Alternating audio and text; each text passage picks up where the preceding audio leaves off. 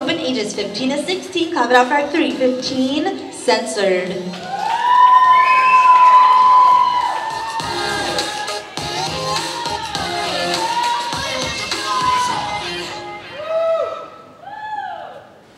Here in America, in every single state, they have a set of for every subject, a collection of lessons that the teacher is required to teach by the end of the term. But the greatest lessons you will ever teach us will not come from your syllabus. The greatest lessons you will ever teach us, you will not even remember.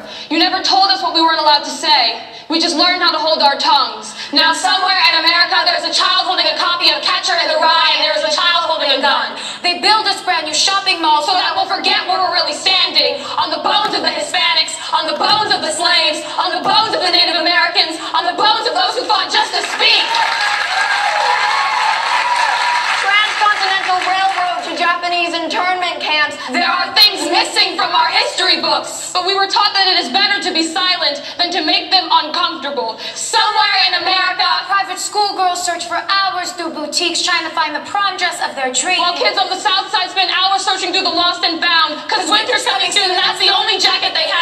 Kids are late to class for working the midnight shift. They give awards for best attendance, but not for keeping your family off the streets. These kids will call your music ghetto. They will tell you you don't talk right. Then they'll get in the backseat of a car with all their friends singing about how they're about that life and we can't stop. Somewhere in America, Schools are promoting self-confidence, while they whip out their scales and shout out your body fat percentage in class. Where the heftier girls are hiding away, and the slim-fit beauties can't help but giggle with pride. The preppy kids go thrift shopping because they think it sounds fun. But we go because that's all we've got money for. Because mama works for the city. Mama only gets paid once a month. What'd you learn in class today? Don't talk loud. Don't speak loud. Keep your hands to yourself. Keep your head down. Keep your eyes on your own paper. If you don't know the answer, Fill and see. Always wear earbuds when you ride the bus alone. If you feel like someone's following you, pretend you're on the phone. A teacher never fails, only you do.